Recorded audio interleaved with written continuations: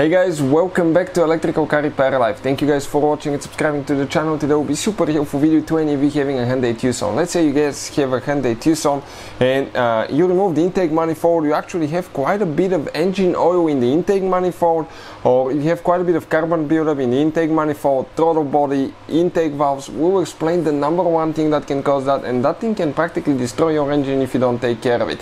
It costs only a few dollars and it takes less than two minutes to replace it. It's an item that it's serviceable and you should replace it let's say every 50 60,000 miles but almost nobody ever replaces it. So we'll explain what it is. Before we start let me tell you a little bit about us. Every single car we get at the garage we try to make at least 2 to 300 free repair videos. Why we do that? Simply because our mission at the shop is to save you as much money as we can.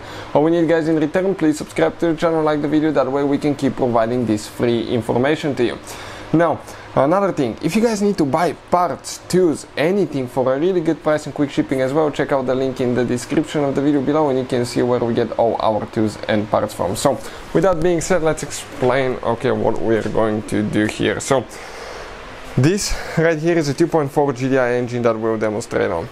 Now, we I want to show you the throttle body first before we bring the intake manifold and the cylinder head, but the throttle body, guys, okay right here. We clean only half of it so you should see uh, you can see what it should look like. And the other one is covered with carbon buildup okay and oil. And if you look okay we'll bring the intake manifold too okay we're going to bring the intake manifold but all that will result into dirty engine on the inside carbon buildup in the pistons carbon buildup in the valves and that can cause quite a bit of damage and wear to the engine as well. Another thing you may uh, notice increased oil consumption and that intake manifold check it out guys. Okay you will be surprised. All that is there and you wonder why. So stay with us and we will explain. So let's come to right here now. Okay let me just get a wipe quick because I'm covered here with engine oil. Now, if you look at that cylinder head, those are the intake valves. I want to show you what the valves look like. They're practically, guys, okay, covered with deposits. Okay, right there. That's a lot of deposits and carbon and oil buildup. So what causes that now? Let's explain that quick. So on top of the cylinder head, you, uh, on top of the cylinder head, you have the valve cover okay which is right there. On that valve cover guys okay you're going to have one device that's known as a PCV valve. So that PCV valve catches the positive crankcase ventilation uh, system practically that's a positive crankcase ventilation system and what it does okay when the engine runs pistons go up and down that will create internal pressure. Also you will always have some blow by gas around the pistons.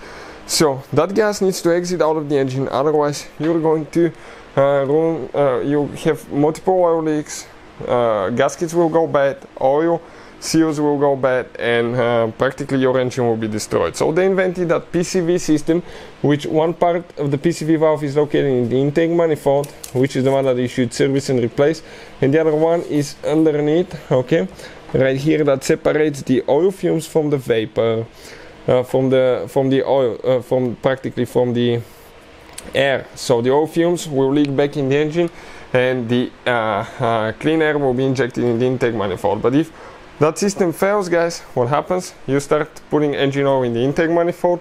From there, everything will be dirty. You will cause carbon buildup to the uh, and oil buildup on the intake valves inside the engine, and that can be catastrophic, guys. So you will need to most likely replace your PCV valve and in some cases the valve cover as well if you want to do that.